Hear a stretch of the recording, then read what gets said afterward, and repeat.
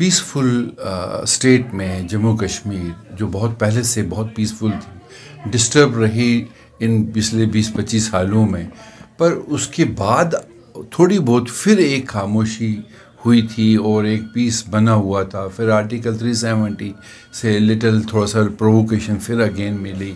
पर उसके बाद जब आज ये हादसा हुआ हमारी इस सरदार लड़की का, जिसे सेग्रीगेट करके स्कूल से निकाल के मारा गया, ये एक बड़ी दुख वाली बात है, जिसे हर फिरके, हर तबका से तल्लुक़ रखने वाले लोगों ने कंडम किया है।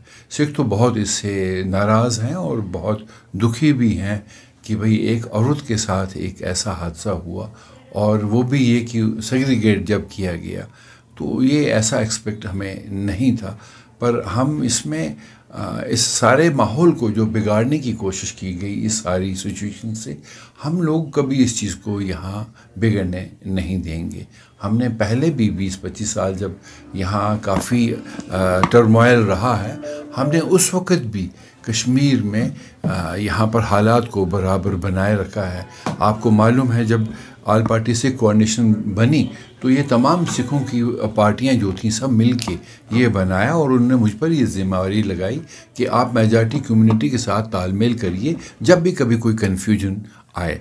तो हम पिछले काफ़ी देर से कभी ऐसी बात यहाँ नहीं होने दी और ना आज भी हम इसको होने देंगे और ना आगे भी।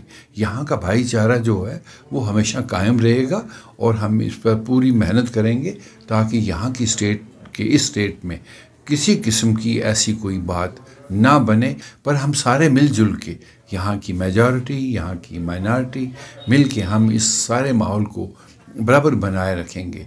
तो यहाँ का भाईचारा तो गांधी ने उस पर मोहर लगाई है कि उन्होंने अपने 47 में जब पूरा हिंदुस्तान जल रहा था, तब भी उन्होंने ये कहा था कि मुझे किरण दिखती है इस कश्मीर में। हमारे इस बहन का जब इसको मारा गया तो उसके घर में मुझे लगता जितने मुस्लिम लोग थे जितने सिख थे, जितने उतने ही मुस्लिम थे। उसके क्रिमेशन पर भी वही हाल था। जितने सिख थे, उतने ही मुस्लिम थे। तो यहाँ के हर आदमी को दुख होता है, किसी भी किलिंग पर। हमें तो ये बड़ा दुख हुआ हमारे पास, मेरे पड़ोस में थोड़े कोई डेढ़ सौ फुट की दूरी पर ये बिंदरू बिंदरू को मारा गया। पर उस पर भी सब लोगों को दुख हुआ है।